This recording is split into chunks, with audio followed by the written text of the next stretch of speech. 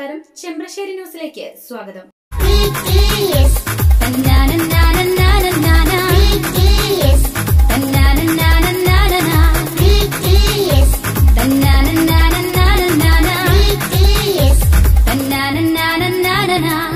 V T S mall വളരുന്ന ബന്ധം തുടരുന്ന വിശ്വാസം.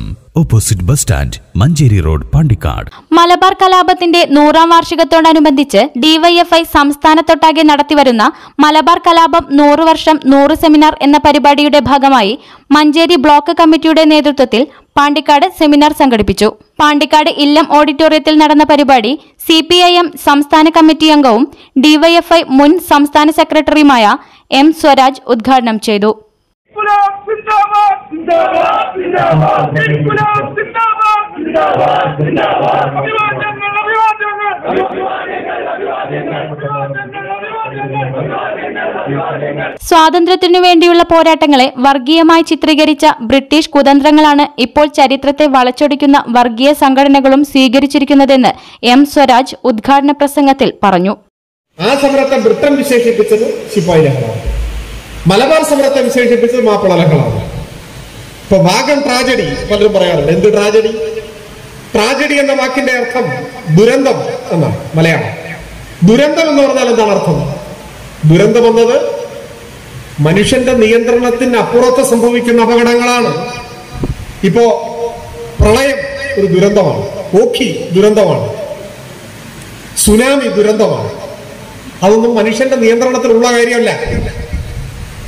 എന്നാൽ മനുഷ്യന്റെ നിയന്ത്രണത്തിലുള്ള ഒരു കാര്യത്തെ ദുരന്തം എന്ന് വിശേഷിപ്പിക്കുന്നത് ശരിയുമല്ല. എങ്ങനെയാണ് വാഗൺ ട്രാജഡി ആവുന്നത്? തീവണ്ടി പാളം തെറ്റിയതാണെങ്കിൽ ശരി. ഇപ്പൊ പെരുമണിൽ പെരുമണിലുണ്ടായത് ട്രാജഡിയാണ് പെരുമൺ ട്രാജഡി എന്നാ പറയുക ഇത് പാളം തെറ്റിയതല്ല. ചരക്ക് തീവണ്ടിയുടെ ബോഗിക്കകത്തേക്ക് സ്വാതന്ത്ര്യ സമര സേനാനികളെ കുത്തിക്കയറ്റി വായു കടക്കാത്ത അറയിൽ ഇട്ട് പൂട്ടി ഇവിടെ കൊണ്ടുപോവാണ്. പോത്തന്നൂരിലെത്തിയപ്പോഴേക്ക് മുക്കാൽ പങ്കും ആളുകൾ മരിച്ചു. കൂട്ടക്കൊലയാണ്. വാഗൺ കൂട്ടക്കൊലയാണ് വാഗൺ മസാക്കർ എന്നാണ് പറയേണ്ടത് അതിനെ ബ്രിട്ടൻ വാഗൺ ട്രാജഡി എന്നാണ് വിളിച്ച് നമ്മളെ പഠിപ്പിക്കുകയാണ്.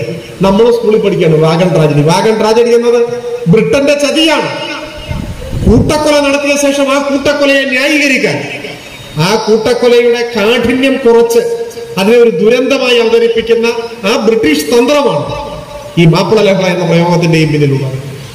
ഈ സമരോത്സുകമായ സൗഹൃദം നിലനിന്ന മലബാറിന്റെ അന്തരീക്ഷത്തിൽ മാറ്റമുണ്ടാവുന്നപ്പോഴാണ് മലബാറിലെ ജനസംഖ്യയിൽ അന്ന് മഹാഭൂരിപക്ഷവും മാപ്പിളമാരാണ് എന്ന് മാത്രമല്ല അവരാണ് കൂടുതൽ പോരാ പോരാട്ട വീറ് പ്രദർശിപ്പിച്ചിരുന്നത്. അതിന് ചരിത്രപരമായ കാരണങ്ങളുണ്ട് ബ്രിട്ടീഷ് വിരോധത്തിന്റെ മുന്നിൽ കേരളത്തിലെ മാപ്പിളമാരുണ്ടായി അതിന് ചരിത്രപരമായ കാരണങ്ങളുണ്ട്. ആയിരത്തി എണ്ണൂറ്റി തൊണ്ണൂറ്റി ഒൻപതിലെ ശ്രീരംഗപട്ടണം സന്ധിയെ തുടർന്നാണ് ചരിത്രത്തിലെ ഒരു ചെറിയ കാലയളവിലാണെങ്കിലും ഭൂമിക്ക് മേലുണ്ടായിരുന്ന മാപ്പിളമാരുടെ അവകാശങ്ങൾ ഇല്ലാതായി. അതിന് കാരണമായി വന്നത് ബ്രിട്ടനാണ്. ആ വിരോധം ബ്രിട്ടനോടുണ്ട്. അങ്ങനെയുള്ള ഒരു സാമ്രാജ്യത്വ വിരോധം പണ്ടേ ഉണ്ട്. ഇപ്പൊ ചില ആളുകൾ പറയുന്നുണ്ട് തൊള്ളായിരത്തി ഇരുപത്തി ഒന്നിലൊക്കെ ഖിലാഫത്തല്ലേ എന്നൊക്കെ പറയുന്നു. ഈ ഖിലാഫത്തൊക്കെ ഉണ്ടാവുന്നതിന് എത്രയോ മുമ്പ് ഇവിടുത്തെ മാപ്പിളമാർ ബ്രിട്ടനെതിരാണ്.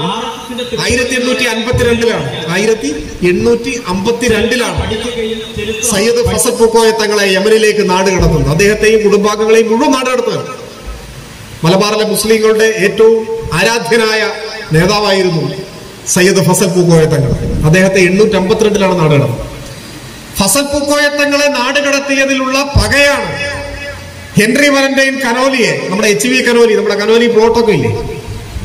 കനോലിയെ കോഴിക്കോട്ട് വെച്ച് മാപ്പിള പോരാളികൾ കൊലപ്പെടുത്തുകയാണ് ചരിത്രത്തിൽ അത് ഫസൽ പൂക്കോയ തങ്ങളെ നാട് കടത്തിയതിന്റെ പകയാണ് ഫസൽ പൂക്കോയ തങ്ങളുടെ വാപ്പയാണ് സയ്യദ് അലവിത്തങ്ങൾ സയ്യദ് അലവിത്തങ്ങൾ എഴുതിയ പുസ്തകത്തിന്റെ പേരാണ് സൈഫുൽ ബത്താർ.